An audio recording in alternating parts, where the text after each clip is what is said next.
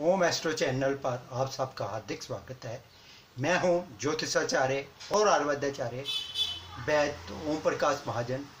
मेरी वीडियो के माध्यम से जाने, शनि उच्च का तुला राशि में ही क्यों होता है? जिन जातकों में उच्च का शनि होता है, उनमें क्या प्रभाव होते हैं? सबसे पहले हम ये जानते हैं, उच्च का शनि। मुझे स्पेशली तुला राशि में ही उच्च का क्यों होता है? इसके लिए हमें ये जानना बहुत ज़रूरी है कि तुला राशि और शनि के करेक्टर आपस में काफ़ी मिलते हैं। शनि के करेक्टर शनि बड़ा स्लो प्लेनेट है जो काइंडनेस को इंडिकेट करता है बैलेंस जस्टिस बिज़नेस लेबर इन सबॉर्डिनेट्स ये इसके अंतर्गत आते हैं। हमारी तुला राशि जी क्या इंडिकेट करती है, जे भी हमें बैलेंस जस्टिस पेशेंस तुला राशि वाले बहुत ही शांत, स्थिर के चित्त के होते हैं। हर काम बड़े धैर्य से करने वाले होते हैं। तुला राशि हमारे बिज़नेस हमारे जॉब को भी इंडिकेट करती है। ये लोग भी अनुशासन के बहुत प्रिय होते हैं।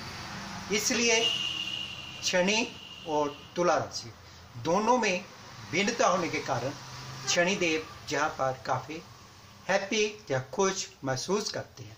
अदरवाइज़ शनि की क्वालिटी जो है सीरियसनेस गंभीरनेस की होती है। लेकिन यहाँ जिस शनिदेव हैप्पी या खुश या अपने आप को बड़ा सुखद महसूस करते हैं, जिन जातकों में भी शनि उच्च के होते हैं उन जातकों को अपने अधीनस्थ लोगों के साथ काम करने का बड़ा अच्छा अनुभव होता है। लेबर क्लास उनके साथ बड़ी फ्रेंडली होती है। ऐसे लोगों को मैंने बड़े अच्छे इंडस्ट्रियलिस्ट और अच्छे बिजनेसमैन बनते हुए देखा है। ऐसे लोग के बड़े अच्छे राजनेता होते हैं। वे अपने सबॉर्डिनेट्स के हित की बात करने वाले और हित चाहने वाले होते हैं। ये किसी के साथ ठगी नहीं करते।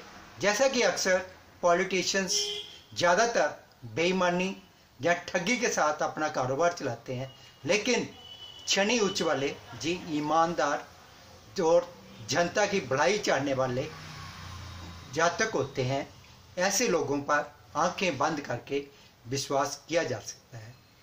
Thanks for watching my video